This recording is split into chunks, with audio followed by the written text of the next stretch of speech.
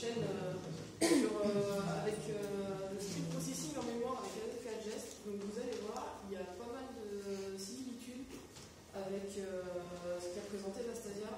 La plupart des concepts et une bonne partie de l'architecture, c'est très proche.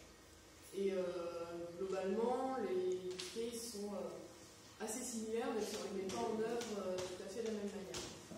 Donc, qui je suis Je m'appelle Clara.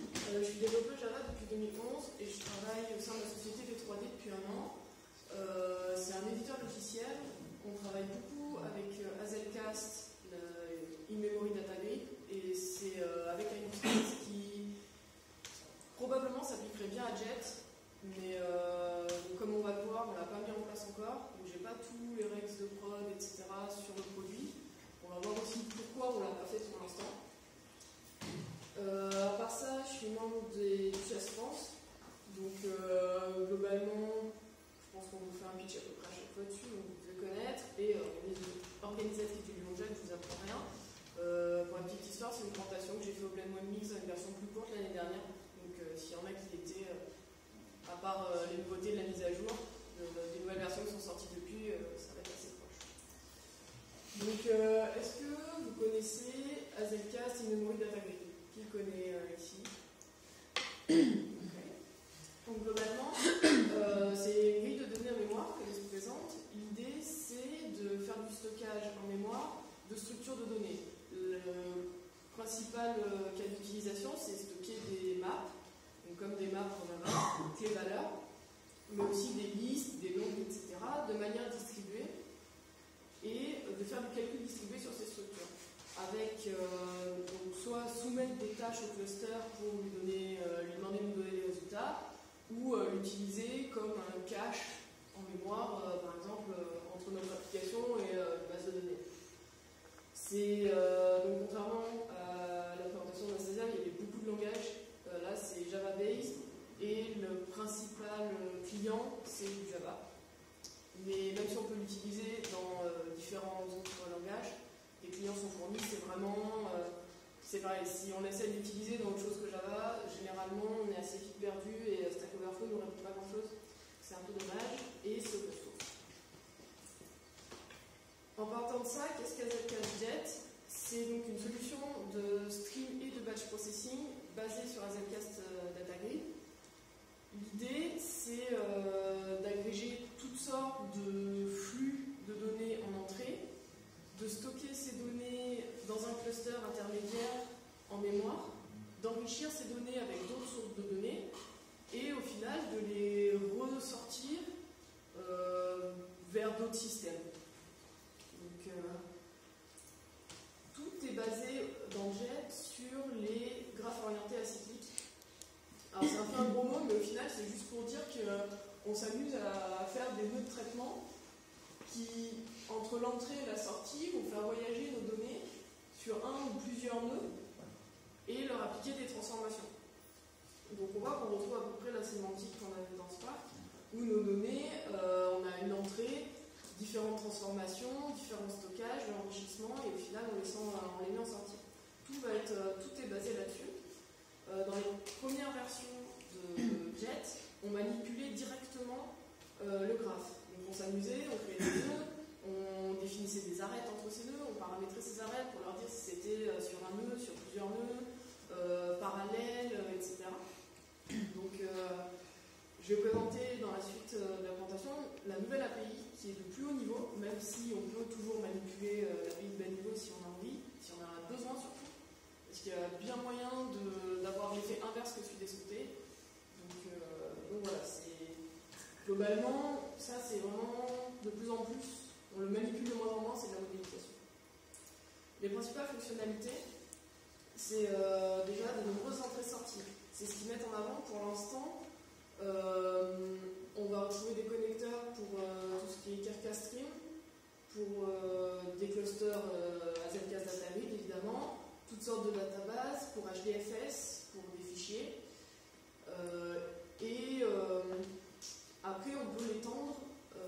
relativement facilement, donc on verra pareil, je vais faire un petit exemple dans la suite de la presse, pour euh, connecter avec d'autres systèmes qui ne seraient pas déjà supportés. Ils mettent en avant le but euh, de JET, c'est de faire des traitements en faible latence. Ils essaient de limiter au maximum le temps que, en dehors du temps de pur traitement, les objets vont passer à l'intérieur du, du, job, à l'intérieur du graphe. Donc, euh, ils ont axé toute leur architecture là-dessus. Et en rajoutant là-dessus un contrôle du débit. L'idée, c'est qu'ils ont fait en sorte qu'un job n'accepte pas de données en entrée s'il n'est pas capable de les traiter en un temps raisonnable. Donc, euh, c'est quelque chose qui est souvent relativement pénible à gérer, qu'ils ont fait directement, qu'ils ont embarqué dedans. Euh, ça marche plutôt pas mal. Après, euh, c'est encore un peu brut, c'est-à-dire qu'il va donner une erreur et dire débrouille-toi avec ta donnée, quoi, j'en prends pas. Voilà, actif, mais c'est pas encore a priori complètement fini. Quelque chose qui est super intéressant, c'est les fenêtres glissantes. Souvent, quand on fait du traitement de données en flux, on va vouloir savoir sur les dix dernières minutes, avoir des statistiques sur les différentes données qu'on a vu passer, etc., avec une fréquence de rafraîchissement. Et euh, c'est un des principaux, euh, un des premiers use qu'ils ont, euh, qu'ils ont implémenté. Donc j'en ai fait un exemple aussi. C'est pour quelque chose qui est souvent un peu pénible à coder, c'est relativement facile. Ils commencent à mettre en place, au fur et à mesure des versions, tout ce qui est tolérance au crash, changement de topologie de cluster, redémarrage de job en cours de traitement ou euh, depuis le début, euh, ainsi que des garanties de traitement, au moins un, exactement un, etc. Euh, à chaque version ça progresse, mais voilà, on commence à avoir quelque chose qui, au moins sur le papier, peut être mis en prod relativement sereinement. Et il supporte également Pivotal Cloud Foundry. Pour l'instant, c'est, je crois, nativement le seul fournisseur de cloud ou, euh, qui est directement supporté et Docker. En termes de roadmap, donc, euh, la version actuelle c'est à 0.6.1, d'où euh, on n'a pas encore mis en place sur notre projet dans ma boîte. C'est annoncé production ready depuis la 0.4 de juin 2017, donc je ne sais pas s'il y a grand monde qui a été suffisamment ambitieux pour mettre une 0.4 des FCAS en prod. Globalement, je le conseille à pas la version 1.0 est prévue dans le courant de cette année. Donc on est déjà au milieu, il n'y a toujours pas de nouvelles. Donc euh, voilà, pour l'instant, il n'y a rien qui indique qu'elle va sortir prochainement. Mais elle va, d'ici là, les API sont instables. Typiquement, euh, j'avais fait cette présentation sur une version 0.5. Euh, pour la version 0.6, il n'y a à peu près aucun slide qui est resté inchangé. Donc, d'où aussi, c'est sûrement un peu trop jeune pour le mettre en prod tel quel. Euh, à moins que vous n'ayez vraiment pas beaucoup d'utilisation, pas beaucoup de use case, et que vous soyez prêt à tout recoder à chaque fois. La prochaine version en 0. quelque chose, qui est annoncée mais sans date pour l'instant, va introduire quelque chose qui manque vraiment pour l'instant, les outils de diagnostic et de monitoring. Parce que pour l'instant, euh, c'est un peu. Bon, on met beaucoup de logs en fait. Il y a beaucoup de logs partout et on essaie de s'en sortir pour voir ce qui s'est passé. voilà, c'est un peu brut. Et cette version va aussi apporter euh, le scaling dynamique des jobs. Donc, euh, pendant que s'il y a un changement de topologie du cluster, pendant qu'un job est en train de tourner, euh, le automatiquement se mettre à tourner sur les nouveaux nœuds sans, sans, perturbation, alors qu'actuellement, ça marche pas. Et les rolling job updates, pour l'instant, ils n'en ont pas dit plus sur le sujet, ça paraît assez intéressant. On va pouvoir publier des nouvelles versions des jobs qui sont en train de tourner sans pour autant interrompre le job. Ça peut être plutôt, pas mal. Après cette, euh, cette, introduction et cette overview un peu des principales fonctionnalités, euh, on va passer à la pratique. Euh, il va y avoir du code, il va y avoir du Java, il va y avoir plein de Java et il va y avoir plein de code. Grosso modo, je me suis amusé à implémenter un petit, un petit graphe a cette forme-là, où en entrée, on va lire une map cast, donc, qui va stocker des, des valeurs brutes qu'on va appeler des métriques. Ça va être notre source. Après, on va les enrichir. Ces métriques, elles sont liées à des clients. Donc, on va euh, essayer de retrouver le client dans une base de clients et, euh, enrichir les données. Puis, si ça s'est bien passé, on va les écrire dans une autre map. Et si ça s'est mal passé, on va les mettre dans une troisième map. Donc, on est sur quelque chose d'assez simple et qui finalement, après, on peut, en rajoutant euh, des petits nœuds et des petites flèches, arriver à quelque chose de réel, sachant que ça, c'est directement extrait d'un use cases euh, de prod actuellement. Donc voilà, c'est pas non plus complètement euh, l'exercice de style. Déjà, euh, je vais beaucoup parler de performance. Donc, euh, j'ai fait une première implémentation, euh, un peu pour rigoler, avec un couple de threads. On ne va pas du tout utiliser Jet sa première version, où, grosso modo, on va utiliser un pool de threads, une certaine taille, et on va lui soumettre une tâche qui va faire exactement ce petit graphe. Et puis, on va attendre le résultat. Grosso modo, notre tâche, ça me permet d'introduire aussi comment on manipule euh, des, maps, euh, des maps AZCast, pour ceux qui ne connaissent pas. Grosso modo, on demande à l'instance de fournir la map. Tout est typé. Et après, on l'utilise comme une map en Java. Une map, en fait, respecte l'interface map, plus d'autres trucs. Et donc, globalement, on cherche notre customer. Et si on l'a trouvé, on sort vers la map euh, de sortie. Et sinon, on envoie sur la sortie d'erreur grosso modo, donc j'ai tourner euh, ce petit bench euh, sur le PC qui est là. C'est Giga de RAM 4 coeurs, euh, un Fedora et une JVM, j'avais une guitare Oracle. Grosso modo, avec les configurations toujours par défaut, sur un million d'objets, on met à peu près 90 secondes pour faire ce petit process. Voilà, là c'était vraiment pour avoir une idée d'où on partait. Évidemment, la scalabilité de ça au sein d'un cluster, Une autre version, on peut utiliser, toujours sans utiliser Jet, mais du Hazelcast euh, natif, on va dire. Euh, on garde le même principe, sauf que l'exécuteur ici, c'est plus un exécuteur, un peu de stade Java de JVM, mais c'est un exécuteur fourni par Hazelcast. Donc du coup, qui lui va être distribué. Et on fait exactement la même chose. Le processeur, ben, globalement, il n'a absolument pas changé. On est obligé de faire un, un ici, sinon euh, ne nous permet pas de savoir quand notre tâche est finie. Donc c'est un peu embêtant pour faire un edge. Et grosso modo, donc, euh, toujours sur un million d'objets, on est à 100 secondes. Donc pas de chance, c'est encore plus lent. Pourquoi? Parce qu'on est dans un cas particulier où on a un seul nœud.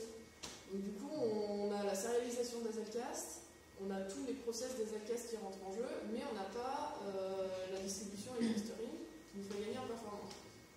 Voit que c'est encore pas, euh, c'est encore pas foufou. Et là, on va commencer à s'amuser, on va commencer à faire du jet. L'outil de base sur jet, c'est le pipeline. On va tout le temps manipuler le pipeline. C'est la version de haut niveau des graphes orientés acycliques dont je parlais tout à l'heure. Donc euh, ça porte bien son nom pour le coup. Et donc on va définir ce petit graphe en forme de pipeline. Il. Donc euh, s'il y en a qui sont allergiques à Microsoft, bah, mais pour l'instant, je n'ai pas de changer. Euh, du coup, euh, voilà, là j'ai pris quelques raccourcis pour que ça rende quelque chose d'à peu près lisible sur une slide, mais il y a tous les exemples qui marchent, etc. Sur GitHub, il y en à la Donc grosso modo, on va commencer par définir une première step, on va lui donner la source de customer. On peut se dire que c'est un peu bizarre parce qu'on commence par quelque chose qui est en plein milieu. L'idée, c'est d'utiliser ça par la suite. Donc on lui donne juste, euh, ben, tu vas devoir utiliser une source qui est une map AZK qui porte ce nom. Désolé pour le couper. Et il euh, n'y a rien après. Et euh, tu vas en faire des trucs. Garde ça de côté. Après, on va lui dire, ben, le vrai pipeline, tu vas lire notre marque d'entrée de métriques, c'est des métriques, et après tu vas faire une jointure avec nos customers. Donc le truc qu'on a codé avant où on disait euh, cherche le customer dans la map et s'il est nul, euh, enfin s'il n'est pas nul, euh, combine les deux objets, sinon il est nul. Là, il le fait tout seul et on lui dit tu joins en utilisant le customer ID qui est dans ton flux d'entrée et si tu as trouvé, tu sors une, donc un autre objet que j'ai appelé métrique enrichie. Après, c'est là où c'est un peu moins agréable que faire un simple if différent nul. On va dire, ben, à partir de cette sortie-là de notre métrique enrichie, si elle a été enrichie, donc si tu as réussi, tu l'as mis sur la map de sortie, et si elle n'a pas été enrichie, tu la mets sur la map d'erreur. Il n'y a pas de moyen de faire ça autrement qu'avec une condition et un note au milieu. Donc, euh, bon, j'espère peut-être que ça m'aiderait par la suite, mais pour l'instant, euh, voilà. Et le fait de faire ces deux opérations à partir de la même step enrich stage, ça nous permet de faire l'embranchement qui est ici. Et après, on prend notre instance de jet. J'ai pas mis la création, c'est pas ça. Euh, donc on fait un jet pour un new instance euh, au-dessus. Et on lui dit, tu fais un new job à partir de mon pipeline. Et join, ça permet d'exécuter et d'attendre le résultat. Donc là, on est sur un job de type batch. Et ça fait exactement le, truc euh, d'avant. Ce truc auquel il faut faire attention, c'est que quand on fait ça, on lui dit mets de côté les customers, et qu'après on l'utilise dans un join, pour aller vite, il va stocker l'intégralité de cette map sous forme de hashtag sur tous les nœuds, de manière répliquée. Donc euh, c'est là où il faut faire assez attention. Si on a des très grosses euh, sources de données, ça peut utiliser beaucoup de mémoire. Et en termes de performance, avec cette petite chose, on tombe toujours sur un million d'objets à 22 secondes. On est passé de 90 secondes pas scalable à 100 secondes scalable, et là, 22 secondes. Donc globalement, pour tout ce qui est performance, euh, c'est plutôt encourageant, le contrat semble relativement bien rempli. Bon là on a fait du batch, c'est marrant, mais euh, ce qui est plus marrant, c'est quand même de faire du stream. Donc euh, j'ai repris, j'ai gardé exactement le même contenu, sauf que l'entrée, au lieu de lire une source de données qu'on aura remplie, qui est en forme de batch, on va lire une queue dans laquelle les événements vont arriver au fil de l'eau. Et donc on va aller au fur et à mesure. Sauf que ça, même pour une MedQ euh, Java tout à fait ordinaire, euh, c'est pas directement géré dans Jet. Donc euh, j'ai dû faire une extension. Je n'ai pas du tout fait. Donc euh, j'ai codé un petit polar. Et du coup, pour lire une queue, ben, grosso modo, voilà, c'est tout. Donc le côté extensible, ça a l'air plutôt, plutôt pas mal. Sachant que là-dedans, euh, c'est du Java, c'est du IBM, donc on faire à peu près ce qu'on veut. On peut utiliser à peu près, euh, à peu près tout ce qu'on veut. Le seul truc auquel il faut faire attention, c'est euh, la gestion des threads. Parce que du coup, Jet prend complètement la main sur le parallélisme. Et s'il faut faire attention à ce qu'on fait, si on a des opérations bloquantes notamment, ça peut être assez dramatique. On peut bloquer le cluster relativement facilement.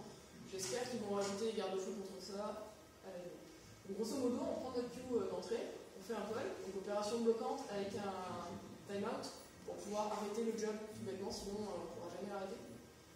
Et euh, si on a lu quelque chose, on l'expédie dans la suite du pipeline cette simple méthode init.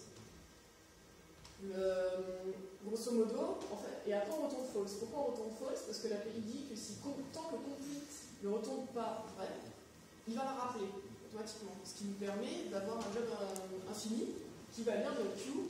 Et après, on peut rajouter assez facilement dedans, par exemple, un petit flag. Et on dit si ce flag est passé à vrai, ça veut dire que je dois m'arrêter proprement. Je retourne true. Petit à petit, Jet va s'assurer que toutes les données sortent du pipeline et arrêter le job proprement. Ensuite, donc, euh, bah, je modifie mon, mon, pipeline pour remplacer la lecture de la map euh, source par la lecture de la queue avec mon processeur c'est là où, bon, c'est un peu. Pour obtenir ça à partir de la doc, ça a été un petit peu galère. C'est grosso modo la documentation a beaucoup progressé depuis les premières versions où j'ai fait quasiment les premières versions de ce code uniquement en utilisant la Javadoc et euh, pas mal de décompilation. Du coup, euh, et euh, la recherche GitHub aussi beaucoup. Merci à eux. et la doc a progressé, mais par exemple, tout ça, c'est pas, pas expliqué en fait. Donc ils expliquent qu'on peut le faire, mais ils ne donnent pas aucune indication. C'est un peu le côté douloureux. Mais voilà, donc j'appelle, euh, grosso modo, là je crée mon polaire, je lui passe la queue, et, après il se débrouille. Et tout le reste est identique à avant, hein, on retrouve le join, etc. Et après je lance mon pipeline, mais cette fois, get future, j'ai une future, et du coup j'attends pas le résultat du job forcément vu qu'il ce sera pas embêtant.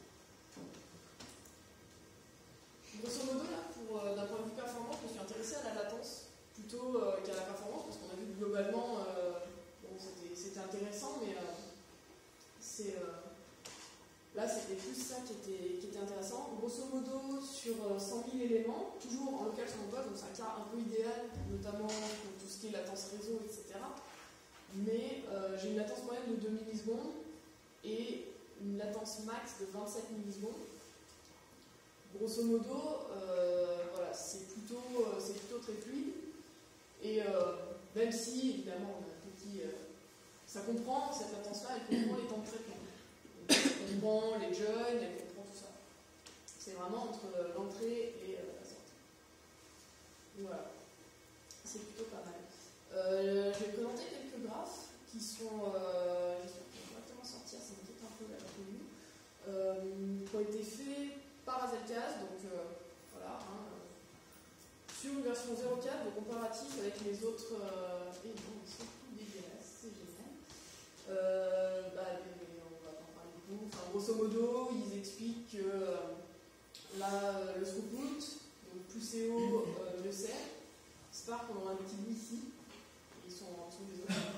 Ça, c'est Jet euh, tout court, et ça, c'est Jet en utilisant uniquement des maps euh, data grid. Du coup, tout se passe en mémoire et avec un minimum de sérialisation. Là, c'est son pote qui est euh, tout aussi euh, mal dimensionné. J'ai voulu m'amuser avec un truc qu'on connaissait dans Marvel, ça n'a pas super bien marché. ce modo, là, c'est plutôt la latence, donc le plus faible est le meilleur. Après, voilà, c'est toujours à prendre avec des pincettes parce que c'est Azaka qui l'a fait, mais forcément, ils n'avaient pas fait que c'était tout beau, le truc. Enfin, ça aurait été un peu trop On va jouer maintenant avec des, avec des puissantes. Comme je disais, c'est euh, une feature qu'on retrouve assez euh, dans pas mal de use cases. la petite métrique avec laquelle on joue euh, depuis le début, là, qu'on fait passer dans les différents pipelines, en fait, euh, grosso modo, elle contient différentes choses. Elle contient euh, un timestamp, un ID customer qu'on a utilisé pour faire le join avant, et deux, deux données. Un nombre d'appels passés par le customer et un nombre d'erreurs. Et on aimerait bien connaître sur, par exemple, la dernière heure, combien d'erreurs il a eu, en sortir des statistiques pour par exemple pouvoir se rendre compte si euh, notre utilisateur VIP PDG de Super Watt euh, commence à avoir des problèmes et qu'il faut très, très rapidement l'appeler pour lui proposer un truc sympa avant qu'il s'énerve. Donc euh, faire ça, on va faire une descente. donc grosso modo, le début est exactement le même. On lit notre queue. Et là, on va commencer à rentrer dans la donc c'est pareil, pour obtenir ça à partir de la doc Zcast, ça a été moment de malheur. Mais au final, ça se lit plutôt pas trop mal. Euh, on va demander à Zcast d'ajouter des, timestamps à lui, même si on est dedans, euh, qui correspondent au moment où le pipeline prend connaissance l'objet, et il va automatiquement ajouter des watermarks. Les watermarks vont être très utiles ensuite dans le, calcul de notre fenêtre pour pouvoir dire quand notre fenêtre est terminée. Et quand une donnée qui arrive, même si elle aurait dû participer, si elle est trop vieille, on va dire. Sinon, forcément, on ne pourrait jamais euh, faire le figer le calcul. Ensuite, on définit notre fenêtre de type glissante. On veut les données sur la dernière heure avec un rafraîchissement toutes les 10 minutes. On veut grouper ces résultats par Customer ID pour pouvoir rapidement savoir euh, par personne c'est un problème. Et on va faire une agrégation. Cette agrégation va nous permettre de calculer la valeur de la fenêtre à partir des métriques qu'on a avant, donc à partir de nos deux valeurs, de nombre d'appels et de nombre d'erreurs. Et on met le résultat dans une map de sortie. Pour une licence, la map de sortie, c'est pas euh, pratique à utiliser, mais on va dire que pour l'exemple, ça avait le mérite d'être simple. Et en plus, ça permet de garder à chaque fois que le process va rendre un résultat, d'avoir l'historique et voir l'évolution de calcul. Ça peut être quand même quelque chose d'intéressant.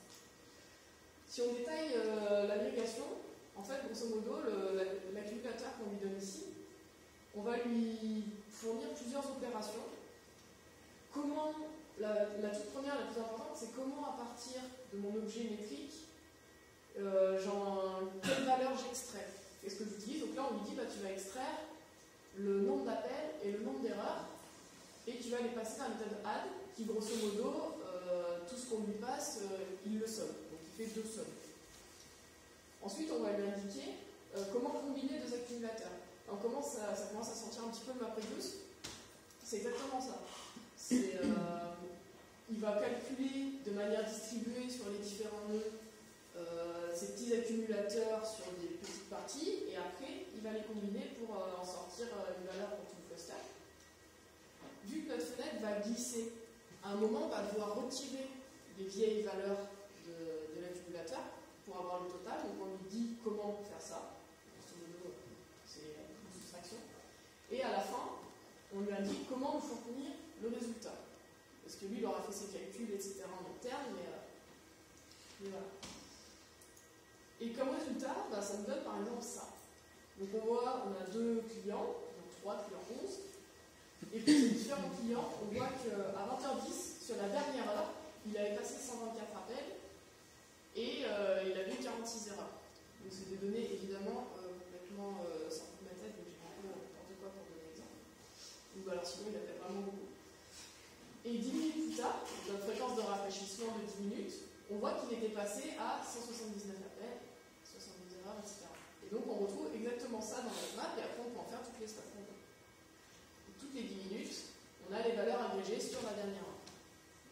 Grosso modo, pour faire quelque chose comme ça, ce code-là, je trouve que c'est, même s'il a été un peu pénible à mettre en place, relativement euh, simple et lisible surtout.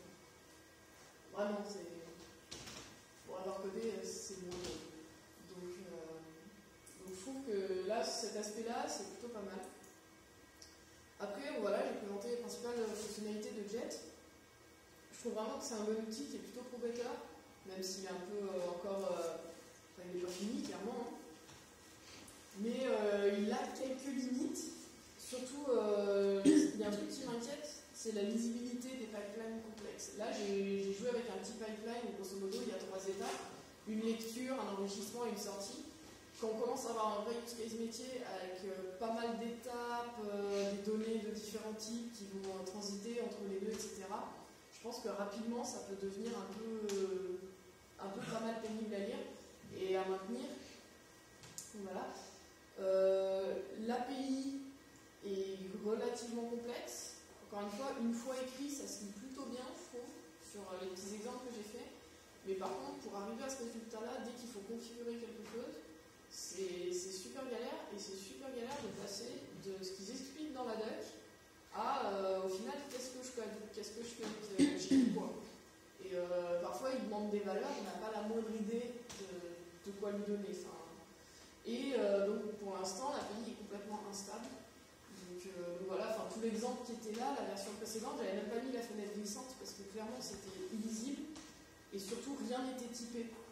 Donc on manipulait que des objets tout le temps.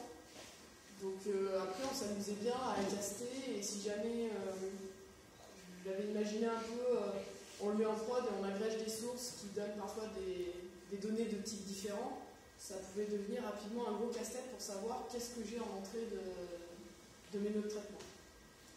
Et donc, euh, Production Ready, ben, c'est un peu en lien avec euh, supervision et monitoring. Ils disent que c'est prêt pour la prod, mais en même temps, on ne sait pas trop ce qui se passe dedans. Donc, euh, on n'a pas trop moyen de savoir quel job tourne, où ils tournent, est-ce qu'ils ont fini, est-ce qu'ils ont bien fini, est-ce que le contrôle du débit s'est mis en branle ou est-ce que tout va bien. Enfin, on a pour l'instant, on n'a aucun moyen de savoir quoi que ce soit. Donc, euh, voilà, moi je les trouve un peu ambitieux sur le production ready.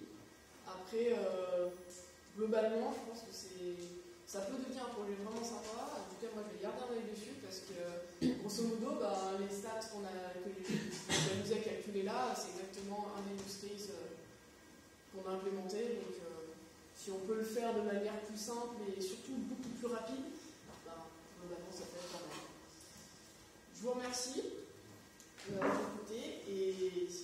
vous avez des Pourquoi utiliser stable? Pour l'instant, euh, je me suis vraiment amusé avec pour voir ce que ça donnait, pour voir ce que c'était. Euh, et pour l'industrie, ça, ça, ça, apporte une valeur qu'il a une alternative hein ah, pour l'instant, c'est pas. L'intérêt, en fait, le principal intérêt, c'est s'il y a déjà Azelcast Datagrid dans le projet, qu'on utilise déjà comme cache, qu'on utilise déjà voir comme silo de données. Du coup, ça se plug très, bien dessus. En fait, il l'embarque base. Donc on change la dépendance, le code existant ne change absolument pas, et on rajoute le pipeline dessus. Rien n'empêche d'utiliser du SLCast classique, data grid classique dans l'appli, et quelques jobs à côté pour migrer aussi en douceur, petit à petit. Mais pour l'instant, clairement, je ne conseille pas d'utiliser, il faut être prêt à recoder tout à chaque de version. Donc euh, voilà, clairement, c'est pas fini. Si on a déjà du AZK sur le projet, ça peut être, au lieu d'avoir une autre solution pour mettre en place à côté, etc., ça peut être intéressant. Oui. Euh, quoi comme manager de ressources Non, en fait, euh, il va être intégré euh, dans l'appli qu'on lance. On package un jar, on lance le truc. Et euh, grosso modo, après il forme son cluster et il n'y a, pas de, a pas de gestion de ressources à proprement parler. Quand on soumet un job, il va se mettre partout, les maps elles sont distribuées partout. En fait, c'est une des philosophies un peu de base d'Azelcast, c'est qu'il essaie de se répartir tout le temps au mieux sur tous les nœuds et euh, il a un peu sa propre euh, logique de répartition. Donc euh, il veut. Enfin, c'est pas dans la philosophie du truc d'avoir ce outil. Et du coup, on peut avoir un orchestrateur qui va lancer des nouveaux nœuds du, cluster applicatif. Mais après, c'est déjà. On peut faire ce qu'on. On peut faire Après, on peut aussi l'utiliser en standalone. Mais ça devient beaucoup plus pénible parce que justement on ne peut plus faire ce qu'on veut, euh, utiliser nos classes facilement, etc. Rapidement on a des problèmes, euh, bah, il faut que notre nœud connaisse euh, nos classes pour pouvoir les désérialiser, faire des prédicats dessus, etc. Pratique, c'est pas, ça devient, vraiment je pense en avoir besoin et pour l'instant je n'ai pas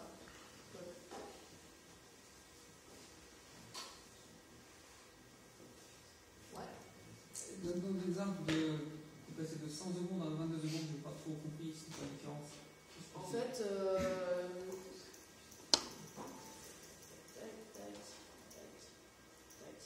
là, c'est l'exemple à 100 secondes. J'ai utilisé un, un, processeur en fait euh, d'Azelcast DataGrid. D'accord. Donc, euh, il nous fournit un pool de threads distribué auquel, euh, sur lequel je soumets, là on lui dit, soumets à tous les membres cette tâche qui est utilisée.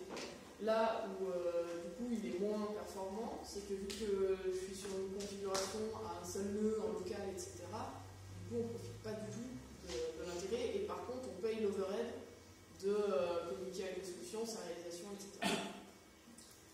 Et là où Jet c'est un, peu, un peu magique, c'est que justement, en passant en pipeline, lui, il gère complètement à toutes les étapes du process. Déjà, on a ça, où il va utiliser une hash table répartie sur tous les nœuds. Et en fait, il va gérer le parallélisme à tous les niveaux pour euh, être plus efficace et faire un traitement en flux, en pipeline, de n éléments à la fois, au lieu de 1 à chaque fois de but en bout dans c'est pour ça qu'il arrive à passer de 100 secondes à 22 secondes. Si on exécute sur le même code sur le cluster, là où il a comment euh, Grosso modo, c'est pas linéaire mais quasi, euh, en fonction du nombre de nœuds. C'est grosso modo le, si la source de données est elle-même bien distribuée. Mais c'est toujours, toujours que tu oui. oui, oui, de, toujours à peu près avec la même, euh, la même proportion grosso modo, c'est vrai que j'ai pas mis, j'ai pas mis les stats que j'avais fait un peu de unité, mais, mais oui, grosso modo, avec euh, une proportion d'à peu près 5 fois.